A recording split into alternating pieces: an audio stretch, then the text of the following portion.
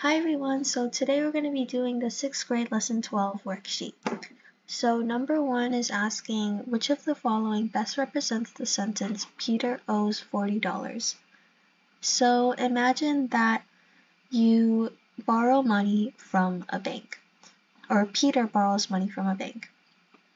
The bank is giving Peter plus $40 and Peter is going to spend that $40 and that's going to give him zero dollars.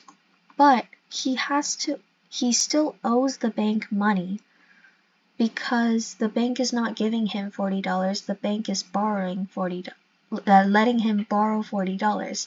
So he needs to give $40 to the bank and that means he has minus $40. A bird is 50 meters above sea level and a fish is 50 meters 30 meters below sea level. Which of the following numbers shows the position of the fish? So let's say this is the sea level and this is 50 or that's the bird since it's 50 and then this can be the fish and this is 30. Since it's 30 meters below sea level and not 30 meters above, this is going to be negative 30 meters. Which of the following shows Sonia's earnings? Sonia earned $300 in 10 days. So it can't be B because 10 days or the number 10 is talking about the amount of days, not money. And it also can't be minus 10. And it can't be negative 300 because it says that she earned 300, so it has to be A. Edgar scored 200 points in a video game in the first level. That means he has plus 200 points in the first level. And in the second level, he loses 300 points.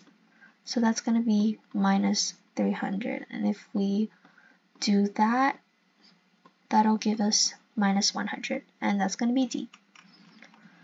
Which of the following best represents the sentence the submarine is 300 meters below the sea? So this can be our sea and this can be our submarine.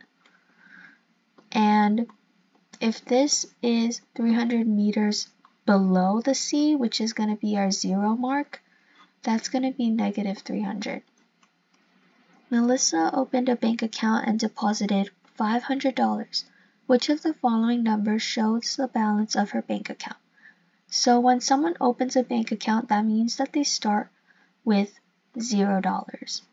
And she and deposited means when you are adding that $500 into your bank account.